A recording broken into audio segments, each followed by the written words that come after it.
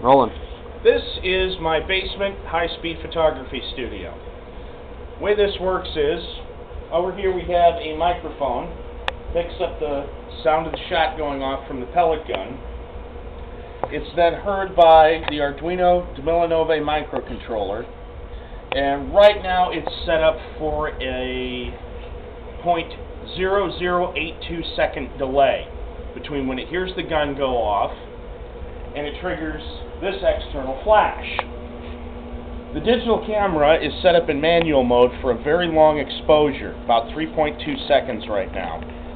So what happens is, is when we're ready to take a picture of something in high speed, and in this case we're trying to cut a pellet with a drywall knife and catch a picture of the moment of the cut, and it's been very difficult to do so far.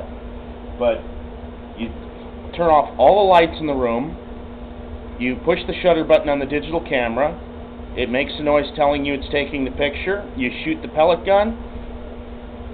Ever so split of a second later, the flash goes off and it captures a picture of, if everything's timed right, the moment of impact when that pellet hits whatever we have set up on the table.